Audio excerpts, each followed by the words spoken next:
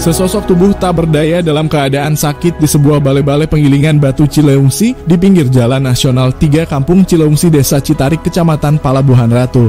Seorang warga masyarakat bernama Dimiati menerangkan, dua hari yang lalu melihat orang di balai-balai proyek batu seberang warung kopi awalnya menyangka ODGJ, tapi setelah didekati ternyata bukan. Terlihat normal orangnya hanya saja saya tanya dia mengaduh sakit parah. Lalu saya pun memberikan makanan. Namun karena sakit parah orang tersebut tak berdaya hanya tergeletak makanya saya lapor sama Karang Taruna untuk menghubungi aparat lainnya. Mendapatkan laporan dimyati seorang anggota Karang Taruna Kecamatan Palabuhan Ratu datang bersama Babin Kamtibmas Citarik. Petugas kepolisian sektor Palabuhan Ratu anggota Satpol PP juga ada perangkat desa Citarik. Mendatangi pria tersebut ke lokasi di Cileungsi, Desa Citarik, Kecamatan Palabuhan Ratu, Kabupaten Sukabumi pada malam hari Jumat tanggal 8 September 2023. Terlihat ada tas dan beberapa obat sakitnya di atas balai-balai. Setelah diperiksa ditemukanlah beberapa petunjuk identitas di antaranya. Ada surat nikah suami istri KTP di antaranya nama yang tercantum di buku nikahnya yang tertera merupakan istrinya.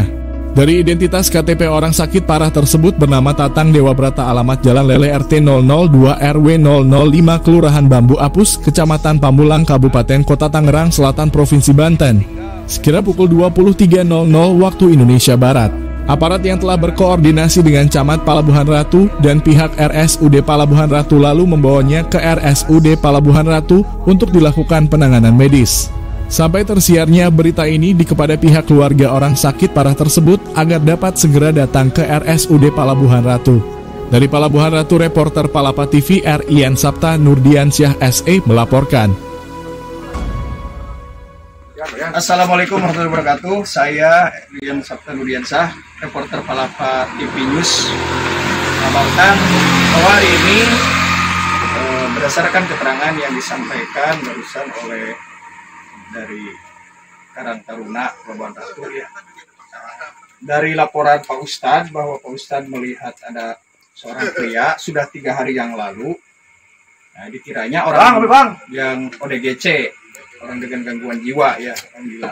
Tetapi setelah dilihat ternyata orang tersebut dalam keadaan sakit. Nah, bahkan mungkin ada identitas identitas yang eh, hari ini juga sudah dilihat bahwa identitasnya jelas ada surat nikah juga dan di sini mungkin dari pihak kepolisian dalam ini sudah menanganinya dan keadaan sakit orang tersebut mudah-mudahan segera bisa teratasi ya Pak Ustadz ya berbicara kemanusiaan Pak Ustadz ini sudah memberikan makan lebih dari dua hari ya intinya di saat beliau uh, ditemukan di sana Pak Ustadz juga tidak tahu persis kapan orang tersebut ada di sana apa ya dikiranya tadinya adalah orang yang uh, orang gila gitu. hmm.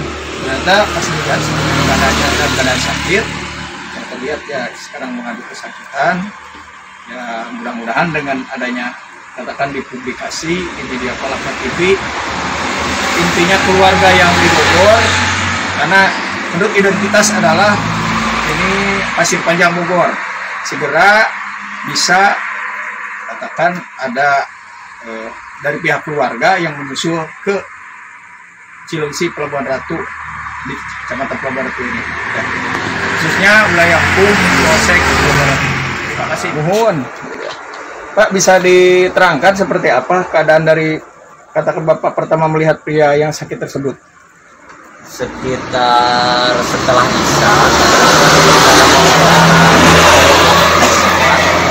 orang ada di pos ya sendiri gitu pas saya nggak kaget ya ya nggak berpikir itu orang sedang sakit apa gimana uh. pikir saya orang gila apa gimana toh pada saya pulang dari Cikadu saya samperin ya. karena dia teriak-teriak minta tolong. Uh. saya lihat kondisinya keadaan sedang sakit sakit gula.